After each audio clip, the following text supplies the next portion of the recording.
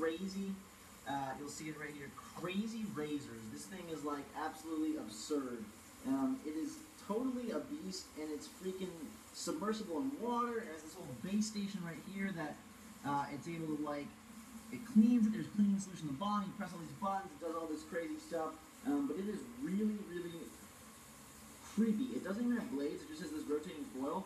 Um, it is the best thing I've ever gotten. It has also this like creepy extra attachment. Sometimes I feel like I'm uh, I'm about to remove an alien or something. But it works so freaking well. You just go right here and you're like, oh, it feels good. It just takes everything off. So nice and simple. I don't even have to stress. I don't even have to worry. And bam, like you can see, it goes off real right away. You want to get in here and use this part.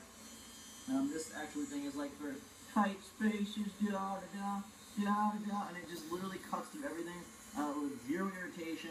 And then when all done, the mirror starts to fall. You don't even have to clean it. You don't have to worry about anything. It could be dirty. You don't to rinse it out. Nothing. You just take it and stick it right in here, and look, it's gonna assess how dirty it is. So it's it's thinking, it's thinking, it's telling me, oh, it's level uh, level one of cleanliness is needed. So you just hit start here and it gets to work. It's going to do its little level one cycle clean. Up top, there's a hygiene level. You can see how much uh, how much hygiene cleanliness has, battery, and now it's like putting a little bit of the foam stuff from underneath up in there. And when it comes out, it'll be nice and new and clean.